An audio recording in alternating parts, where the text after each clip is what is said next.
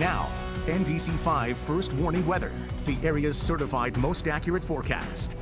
All right, 646 on your Wednesday morning, and the sunshine returns today. I'm really looking forward to it. It yes. sticks around as well. It's not just a one day thing. We go the rest of the work week with plenty of sun to enjoy. Good. Rain doesn't come back until next week, and we're not going to even consider that right now. yeah, that's right. Let's enjoy the nice weather while it's here.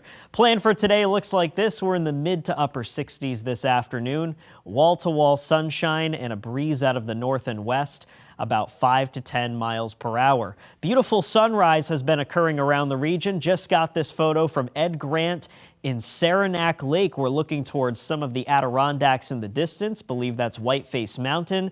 And you can see those high wavy clouds providing a nice texture to the sky this morning and a little bit of valley fog as well. You may run into this as you're driving around not just the Adirondacks, but some of the sheltered valleys in Vermont too. We are done with rain for the rest of the week. You can look forward to more warm, sunny days and cool fall nights through the upcoming weekend. And then the rain chances will begin to go up early next week. Monday looks like our next best chance for widespread rain around the region. Storm Tracker this morning has high pressure in control. No rain to be found across the northeast and a very quiet scan locally too. The skies cleared out fast overnight in northern New York, which is why the temperatures are on the chilly side. We're down to 36 in Saranac Lake now. Had some stubborn clouds overnight, though, in Vermont, which is why we're starting off in the 40s and 50s. It's still cooler than this time yesterday, about 5 to 10 degrees cooler across Vermont, but in the Adirondacks, a bigger difference, close to 20 degrees cooler in Saranac Lake, so a difference you'll notice as you're stepping out the door.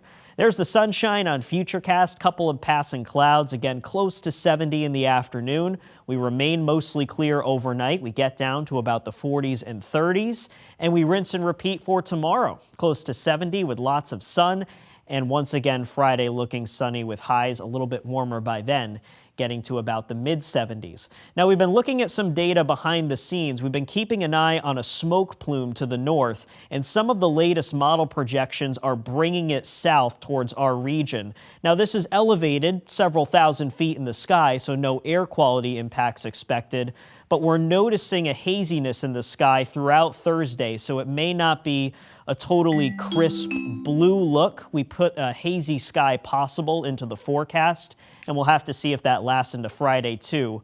But that's just a small wrinkle here. Otherwise, beautiful through the rest of the week. Some more clouds over the weekend, but dry until Monday. Highs pretty close to normal. Back to you. All right.